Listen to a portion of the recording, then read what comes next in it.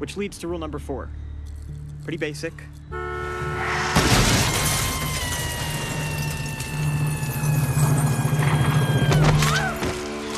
Fasten your seatbelts. It's gonna be a bumpy ride.